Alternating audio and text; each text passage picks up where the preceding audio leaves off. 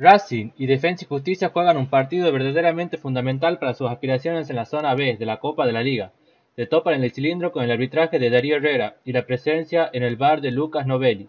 La academia desembarca en este cotejo tras haber dejado escapar un partido en la bombonera, donde cayó contra Boca Juniors 4-2, tras estar arriba en el marcador y luego de caer en su casa sorpresivamente ante Sarmiento de Junín.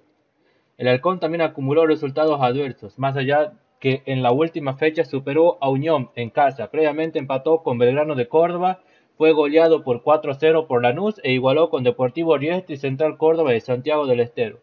En la zona B, el inicio de esta jornada tiene a Godoy Cruz como líder con 20 puntos, seguido por el Granate con 19, Estudiantes 18 y Ñul 18.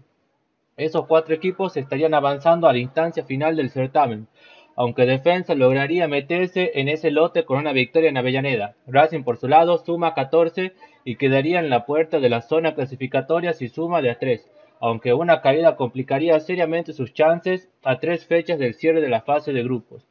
Luego de este enfrentamiento, los de Costas visitarán a Central Córdoba, recibirán a Lanús y finalizarán con una visita en Córdoba Belgrano.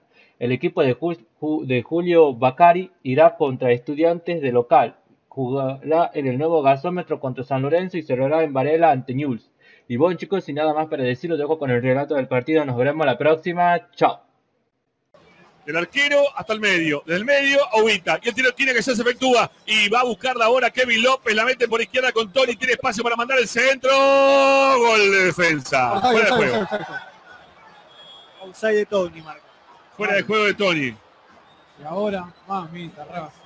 Mamita Racing, por favor. De tener todo para ganarlo a esto. Al gol de defensa anulado por el momento por el asistente. Y espera, que me, y que me lo van a cantar, dijo. ¿eh? Obvio, por supuesto. Y espera que me lo van a cantar. Por supuesto. Lo que me da alguna sensación de tranquilidad es que el árbitro del partido, el asistente, mejor dicho, levantó rápido la bandera, sin ninguna duda. A ver. Sabes que Tony está habilitadísimo, ¿no? Tony está habilitadísimo. Es gol de defensa. Es gol de defensa. Te digo algo. de defensa. Te digo algo. Si no llaman al bar, el árbitro se lo recontra comió. Si no llama al bar, ¿eh? Bueno, es gol de defensa. Hay chequeo de gol. No, no. chequeo de bar. Es que hay chequeo de bar porque es gol de, es gol de defensa. Ya le avisaron a los jugadores de defensa del banco. Mirá vos. Bueno, se complican las cosas para Racing, 17 minutos 30 del segundo tiempo. El chequeo de Barda, gol de Racing, da gol de defensa, perdón. Lamentablemente esto va a ser así, ¿eh? En breve. Porque Tony estaba habilitadísimo, que es que quien creo por quién levantaron la bandera. Sí, claro. Después el resto de la jugada es totalmente lícita. Para la entrada de cabeza, mira, está recontra habilitado, ¿eh? El recontra habilitado Tony. Va a pegarle Quintero que quiere hacer su gol de tiro libre. Se precisa un gol de Quintero que toma carrera hacia atrás. Va a venir el tiro libre de Juanfer. Muy jugado sobre el palo derecho está el arquero. Yo creo que debería ir para ahí. Para el palo justamente del arquero. Le tienen que romper el arco. Va Juanfer, da la orden Herrera. Juanfer le pegó hacia el arco. ¡Está! ¡Gol!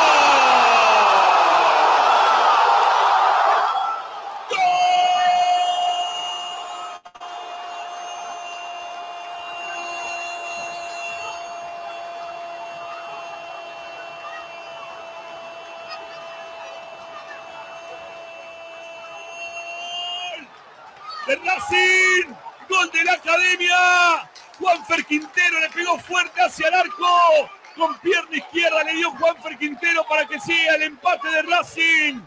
Cuando se arma un quilombo bárbaro sobre el costado de la cancha. Fuera de la misma. Va Bacari a agarrársela con, con Costas. Por cómo lo gritaron. No, Costa le fue a decir que ahora que se sigan tirando. Eso fue lo que pasó. Que Bacari la orden de que se sigan tirando sus jugadores que sigan haciendo tiempo. Y Costa se enojó y lo fue a gritar. Gran tiro libre de Juanfer Quintero, le rompió el arco, tenía que ir ahí. La pelota tenía que ir hacia el lado del arquero. Fuerte y ese es el sector donde consiguió Racing el empate. Donde Racing ahora está empatando 1 a 1. Racing es pasión. Golazo de Juanfer, lo pedíamos, se lo pedíamos al colombiano que ejecute tiro libres como ejecutaba hace tiempo y la puso en ese lugar. Era fuerte al palo del arquero, Juanfer lo cambia por gol, le da vida a Racing que va a tener, Dios quiere un rato largo por jugarse, defensa se cansó de tirarse al piso, merece Racing el empate también, llega a través de Juanfer, empata la academia frente a defensa ahora.